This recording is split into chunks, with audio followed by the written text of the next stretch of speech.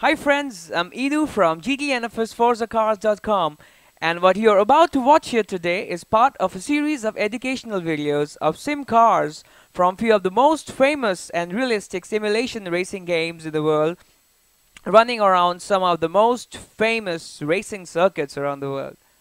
This is the 2010 Hyundai Genesis Coupe from the Forza Motorsport 4 and today we are doing a one mile drag on the Top Gear test track with 2010 Hyundai Genesis Coupe. The 2011 Mazda RX-8 R3 completed the drag in 37.771 seconds. The 2010 Renault Megane RS 250 completed the drag in 38.005 seconds. So let's see how the 2010 Hyundai Genesis Coupe performs the Top Gear test track 1 mile drag.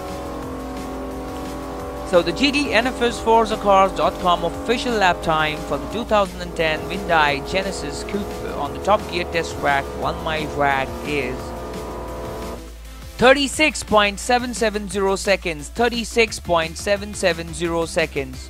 Initially, we'll be testing every car from Forza Motorsport 4 every premium car from Gran Turismo 5 and a few selected cars from Need for Speed Shift 2 Unleashed and also we are waiting for rFactor 2.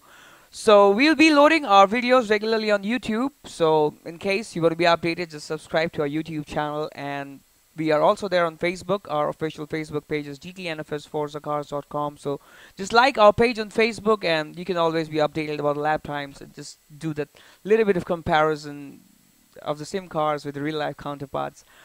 Um, this is Edu from gtnfsforzacars.com signing off, and all the best for everything you do in life.